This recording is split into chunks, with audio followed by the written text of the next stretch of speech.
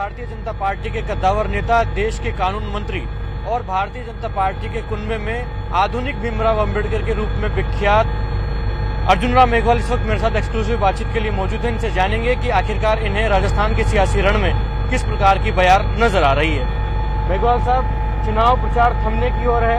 आप पूरा प्रदेश घूमे किस प्रकार का माहौल नज़र आ रहा है सियासी रण में? देखिए, पूरे प्रदेश में पार्टी ने जाने का अवसर मुझे दिया तो मैं स्पष्ट रूप से कह सकता हूँ कि चाहे उत्तरी राजस्थान हो, दक्षिणी राजस्थान हो, पूर्वी राजस्थान हो, चाहे पश्चिमी राजस्थान हो, सब जगह भारतीय जनता पार्टी की लहर है और मज़बूत लहर है। जिन सभाओं में 2018 में हम जब कुछ विशेष विधानसभाओं में कम भीड़ देखते थे। आज उन्हीं विधानसभाओं में जनता उमड़ उमड़ करके आ रही है। कल मैं खीमसर था, जिसको आप हॉट सीट भी मानते हो, लेकिन वहाँ भी इतनी बड़ी संख्या में मेरी सभा में भी पहुँचे। इसका मतलब जो और सभाएँ हुई है, वो बहुत मज़बूत सभाएँ हुई है। इससे मुझे लगता है कि जनता का रुख भारतीय जनता पार्टी की ओर बन गया है। लेकिन मुख्यमंत्री अशोक गहलोत लगातार गारंटियाँ दे रहे हैं। जन घोषणा पत्र भी लॉन्च हो गया और उनका कहना है कि उनकी गारंटी सबसे मज़बूत गारंटी है। वहीं प्रधानमंत्री नरेंद्र मोदी कह रहे हैं कि उनकी गारंटी सबसे मज़बूत गारंटी है सबसे पक्की गारंटी है। ऐसे में आपको क्या नज़र आता है? प्रदेश की जनता किस गारंटी के साथ फ्लोट करती नज़र आएगी इस चुनाव में? प्रधानमंत्री जी का ये कहना है मोदी का मतलब गारंटी पूरी होने की गारंटी। और कांग्रेस का मतलब कि घोषणा कर दो और पूरी मत करो। अधूरी छोड़ दो। मैं दो उदाहरण से देता हूँ आपको। पिछली बार कांग्रेस ने एक गारंटी दी कि किसानों का संपूर्ण कर्जा माफ़ होगा। इस गारंटी पे जनता ने भरोसा किया और किसानों का ऋण माफ़ नहीं हुआ। संपूर्ण कर्जा जिसको बोलते हैं। जब नहीं हुआ तो उन्होंने भरा नहीं, केसीसी खराब हो गई। जब उनको केसीसी से लोन नहीं मिला तो उन्होंने पूछा भाई हमारा तो कर्जा माफ़ है। उन्होंने कहा, नहीं है माफ़। तो फिर उनके नोटिस आने लगे। बीस हज़ार किसानों की जमीनें नीलाम होने लगी। तब इनको चेता आया कि भाई ये कर्जा माफ़ नहीं हुआ। तब ये एक्ट लेके आए। इसका मतलब ये झूठ बोल करके पिछली बार सत्ता में आ गए। जनता इस बार समझ चुकी है। एक और मैं उनकी गारंटी की बात करता हूँ। उन्होंने पिछली बार गारंटी दी कि हम बेरोजगारों को अगर हम नौकरी नहीं दे पाए तो हम पैंतीस सौ रुपये बता देंगे। इन्होंने रजिस्ट्रेशन भी कराए। एम्प्लॉयमेंट एक्सचेंज में कई बेरोजगार लंबी लंबी कतारों में देखे गए, लेकिन एक कोई पता नहीं मिला। इसका मतलब कांग्रेस की गारंटी का मतलब झूठ बोलना और सत्ता हासिल करना। आपने बेरोजगारी की बात की तो मुझे याद आता है कि कल जब घोषणा पत्र जारी हुआ कांग्रेस का तो कहा गया दस लाख युवाओं के रोज़गार के अवसर सृजित किए जाएँगे। ऐसे में किस प्रकार से देखते हैं? क्योंकि युवाओं को टारगेट किया जा रहा है क्योंकि लगातार युवा आक्रोशित थे रीट में घोटाला हुआ और बीजेपी बड़ा मुद्दा भी इसको बनाती रही है। नहीं नहीं ये बड़ा मुद्दा है ही राजस्थान में। युवा परेशान है कि इतने पेपर लीक कहीं नहीं हुए।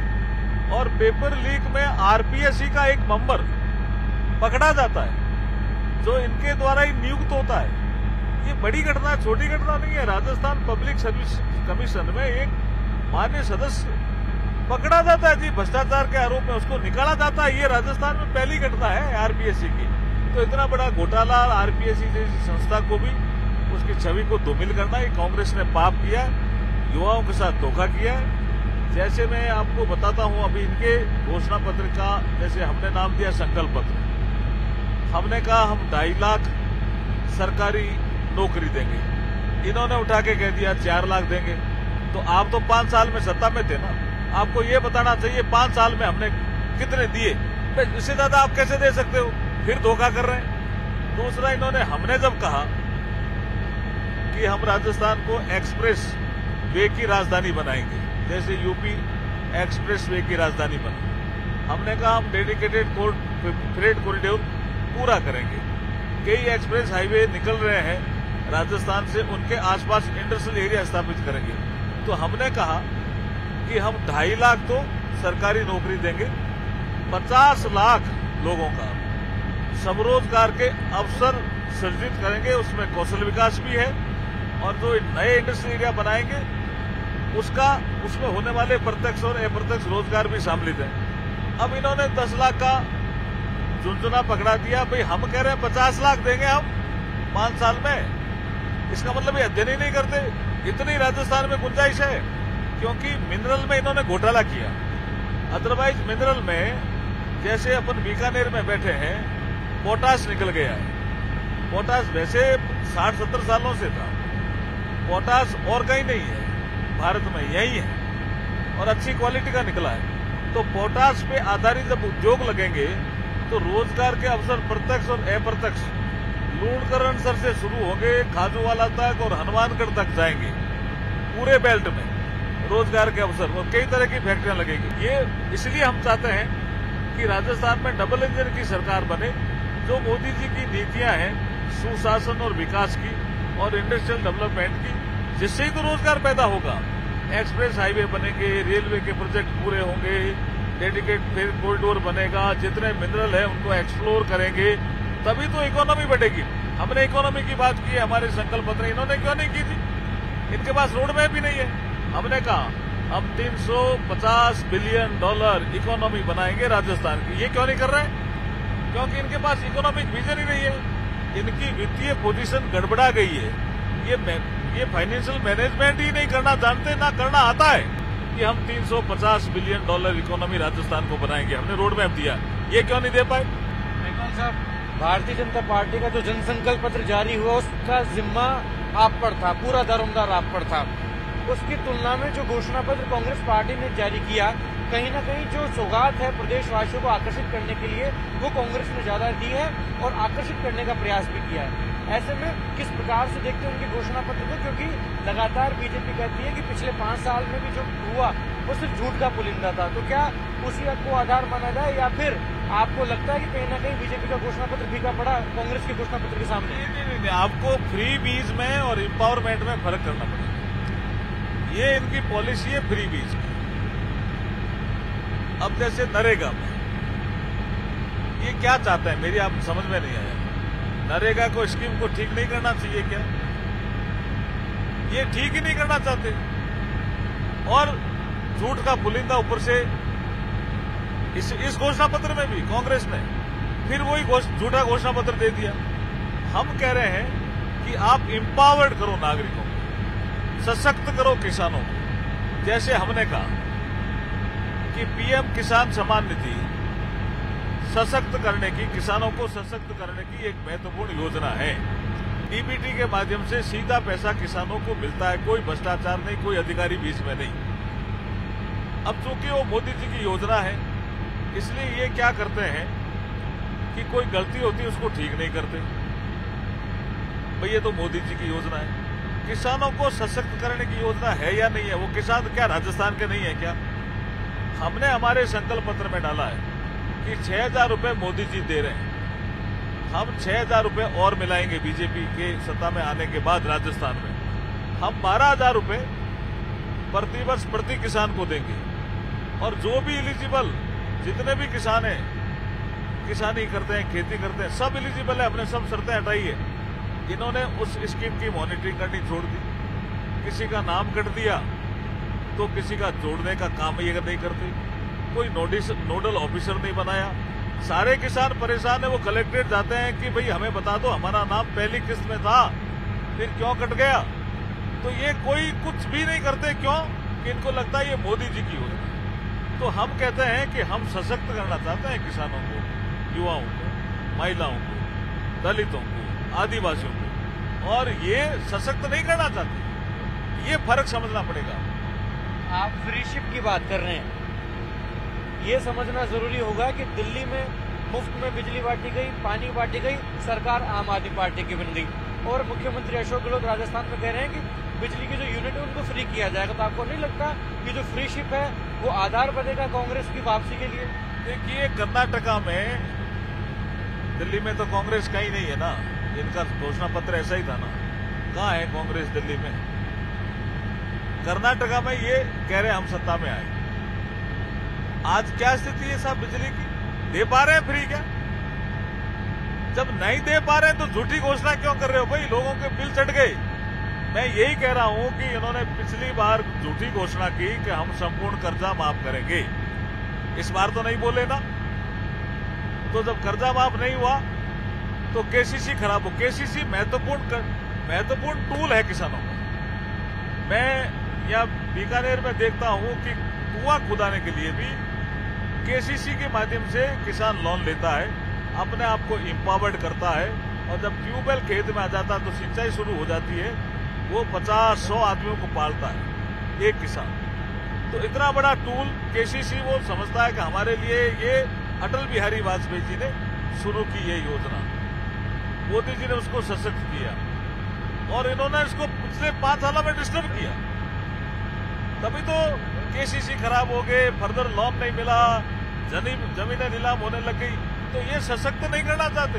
ये झूठ बोल करके सत्ता में आना चाहते हैं। जनता अब समझ चुकी राजस्थान में कांग्रेस की सरकार एक बार फिर रिपीट करने के लिए और रिवाज को बदलने के लिए कांग्रेस पार्टी कर्मचारी वर्ग को साधना चाह रही है और इसलिए ओपीएस को बड़ा मुद्दा बनाया जा रहा है फुल पेज विज्ञापन भी दिए जा रहे हैं कि आपका जो एक वोट है वो राजस्थान में ओपीएस खत्म कर सकता है। ऐसे में किस प्रकार से देखते हैं? क्योंकि ओपीएस और कर्मचारी वर्ग को साधने के लिए लगातार इस प्रकार के विज्ञापन दिए जा रहे हैं और उसकी स्ट्रेटेजी बीजेपी के पास क्या है? ये फिर झूठ है जी। जितने लोगों को दिया, इन्होंने हमने कहा इतने दिए। बताओ तो सही, जो टीचर मर्ज हुए थे ओपीएस के आपके वीडियो आ गए हैं जी। ये झूठ बोल रही है कांग्रेस सरकार। अभी तो वो कर्मचारी रिटायर ही नहीं हुआ। अच्छा मैं ये पूछना चाहता हूँ कि 10 साल, मनमोहन सिंह जी केंद्र में प्रधानमंत्री थे। उस पीरियड में, एक पीरियड में अशोक गहलोत भी मुख्यमंत्री थे। ये ओपीएस उस समय क्यों नहीं बोले? मैं एक पूछना चाह रहा जैसे ही मोदी जी आए तो उन्होंने इसको एक मुद्दा बनाने की कोशिश की जो काल्पनिक मुद्दा है। कब आदमी रिटायर होगा? अब हमने, हमारी जो वित्त मंत्री है, उसने बजट में भी घोषणा की, लोकसभा के फ्लोर पे भी बोली कि ओपीएस और न्यू पेंशन स्कीम में जो हमारे पास ज्ञापन प्राप्त आए हैं न्यू पेंशन स्कीम में सुधार करने के लिए जो छोटे पेंशनधारी हैं, छोटी राशि जिनको मिलती है, उन पेंशनधारियों को कोई नुकसान नहीं हो। इसके लिए उन्होंने वित्त सचिव की अध्यक्षता में एक कमेटी बनाई है। कुछ मीडिया ने उनकी सिफारिशों को, जो सिफारिशें अभी फाइनल नहीं है, लेकिन कुछ छापी भी है। तो न्यू पेंशन स्कीम में तेज़ी से जो सुधार जो ज्ञापन हमें मिले हैं, उसके आधार पर सुधार भी किए जा रहे हैं। आपको जल्दी इसके बारे में सूचना भी मिलेगी। नेशनल क्राइम रिकॉर्ड ब्यूरो के आंकड़ों को आधार बनाकर भारतीय जनता पार्टी पिछले साढ़े चार साल में महिला सुरक्षा को बड़ा मुद्दा राजस्थान में बना रही है। ऐसे में कांग्रेस पार्टी ने अपने जन घोषणा पत्र में कई दावे किए हैं। उन्होंने कहा कि हर क्षेत्र में सीसीटीवी कैमरे लगेंगे, हर वार्ड में सुरक्षा प्रहरी तैनात होंगे और जो यौन उत्पीड़न के मामले हैं, उनकी जाँच त्वरित हो, इस प्रकार का कानून लाया जाएगा। तो जो बीजेपी सबसे बड़ा मुद्दा बना रही थी इस चुनाव में, उसकी काट कांग्रेस ने अपने घोषणा पत्र में सामने रख दी है। क्या लगता है, जनता कांग्रेस की तरफ़ अब आकर्षित होगी? महिलाएँ समझ चुकी है। देखिए, इनकी जो तुष्टिकरण की नीति है, वो इसमें इनको काम ही नहीं करने देती। बहुत से मामले हमने देखे। महिलाओं पे जो गैंग रेप हुआ, दलितों पे जो अत्याचार हुआ, दलित महिलाओं पे जो गैंग रेप हुए, किसी को भट्टी में भी डाल दिया, सामूहिक दुष्कर्म हुए, ये कार्रवाई क्यों नहीं कर पाते? क्योंकि इनकी तुष्टिकरण की जो नीति है, वो उनका एक पैरामीटर है। दूसरा इनका भ्रष्टाचार, वो बड़ा पैरामीटर है। इसलिए कार्रवाई नहीं कर पाते आगे भी नहीं कर पाएँगे। जनता क्या महिलाएँ सब समझ चुकी है।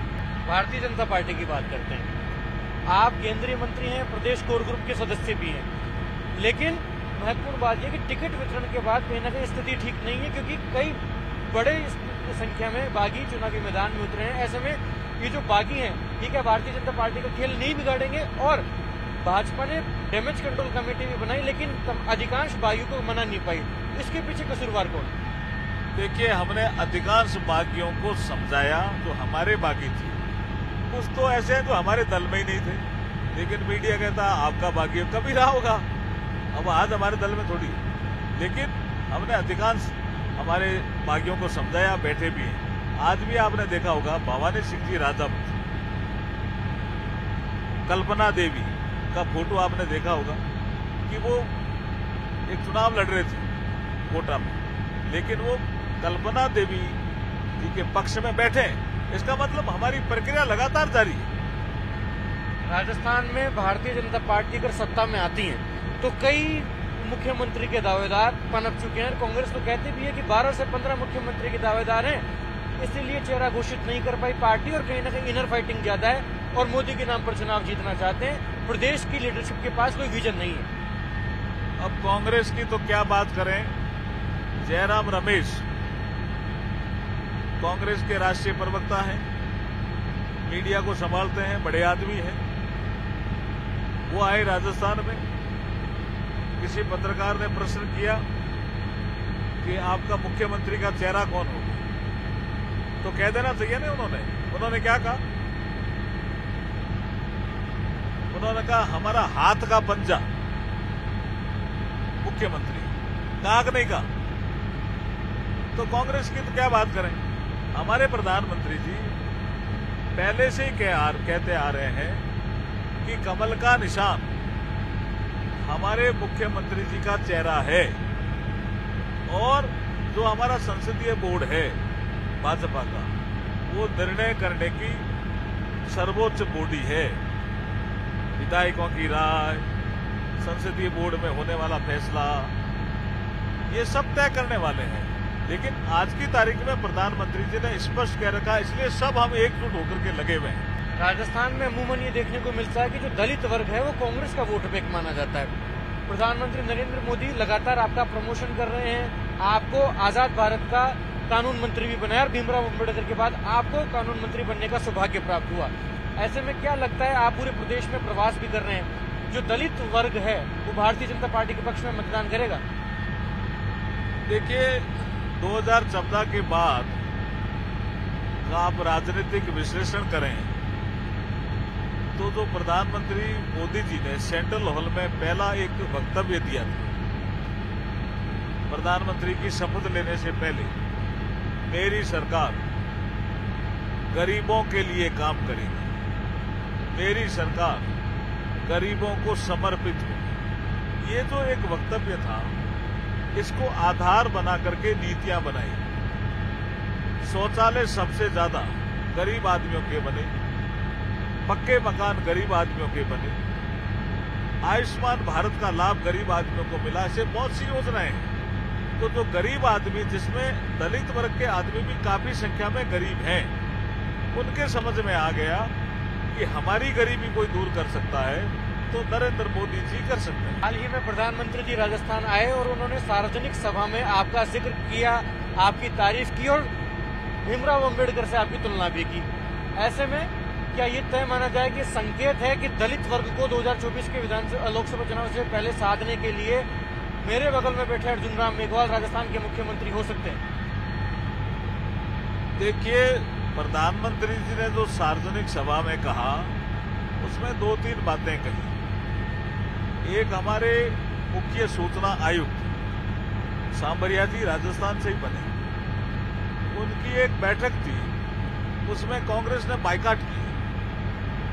इसका मतलब कांग्रेस की दलित विरोधी मानसिकता। है दूसरा जो मेरा ज़िक्र किया, मैं आभार प्रकट करता हूँ कि उन्होंने मेरा भी ज़िक्र किया और मैं भारतीय जनता पार्टी का भी आभार प्रकट करता हूँ कि राजस्थान में जहाँ भी मैं जाता हूँ, हमारे चाहे प्रदेश अध्यक्ष हो, चाहे और पदाधिकारी हो, सब ये कहते हैं कि पहले कानून मंत्री बाबा साहब भीमराव अंबेडकर और उसके बाद दलित समाज से आने वाले दूसरे कानून मंत्री अर्जुन राम मेघवाल।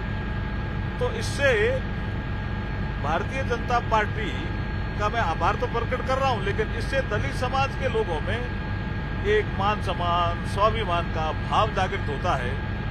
तो मुझे लगता है कि इसका लाभ भी राजस्थान में भारतीय जनता पार्टी को निश्चित रूप से मिलेगा। लेकिन मेघवाल साहब, प्रधानमंत्री नरेंद्र मोदी चेहरे का एक्सप्रेशन और आँख की निगाह से भी बड़े मैसेज दे दिया करते हैं और सार्वजनिक सभा में जिस प्रकार से तारीफ़ की है, अगर पार्लियामेंट्री बोर्ड आपको चेहरा तय करता है मुख्यमंत्री घोषित करता है तो किस प्रकार की स्ट्रेटेजीज रहेंगी और क्या तैयार है? देखिए, मैंने कहा ना, ये संसदीय बोर्ड और हमारे विधायक दल जब बैठेंगे, ये उनका विषय, मेरा विषय है नहीं। मेरा ये कतई विषय नहीं। आखिरी में ये जानना चाहूँगा, जिस प्रकार से कांग्रेस पार्टी बीजेपी को टारगेट करते हुए कहती है कि राजस्थान में भारतीय जनता पार्टी के पास लीडरशिप नहीं है वसुंधरा राज्य का खात्मा करने के लिए एक दर्जन मुख्यमंत्री के दावेदार पैदा किए गए हैं।